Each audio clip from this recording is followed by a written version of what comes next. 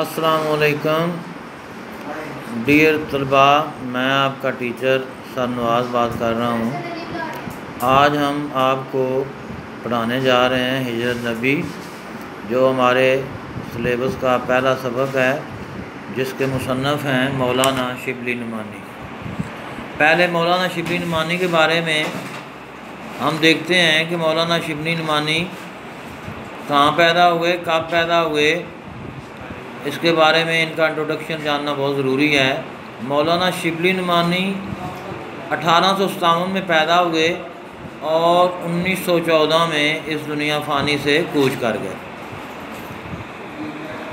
कस्बा बंदोल पाकिस्तान बनने से पहले क्योंकि एक ही मुल्क था, जिसका, जिसको भारत कहते थे या हिंदुस्तान कहते थे।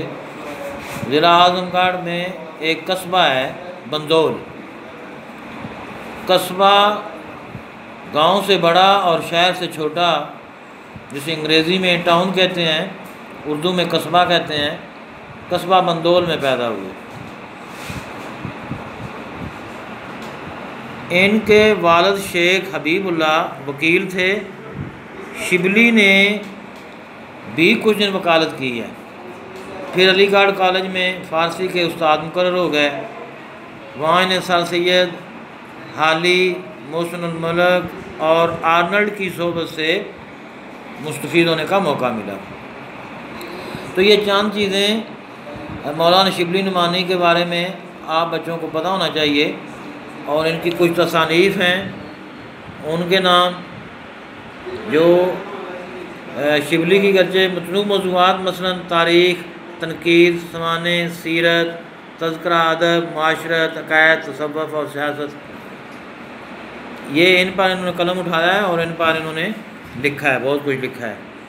इनकी जो अहम तसानीफ़ हैं, वो आपके सामने हैं। शेरजम पाँच जल्दें इनकी, अलफ़ारूक, अलमामून सीरतुलनुमान अलगज़ाली, सवान मौलाना रूम और सफ़रनामा रूम, मिस्र शाम और सीरत नबी शामिल हैं।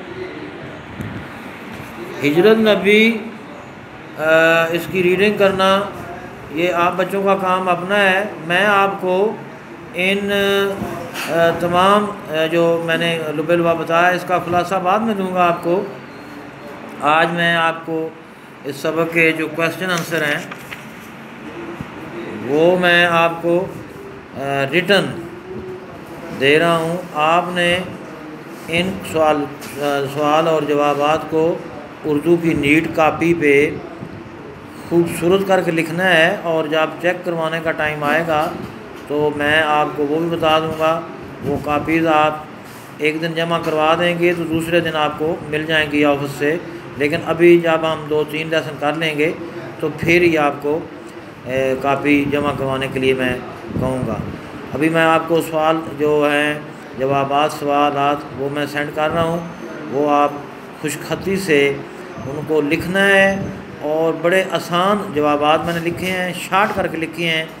आपने उनको एक ही वक्त में याद भी कर सकते हैं, इतने शार्ट लिखे हैं मैंने। अल्लाह आपका हामी नासिर हो।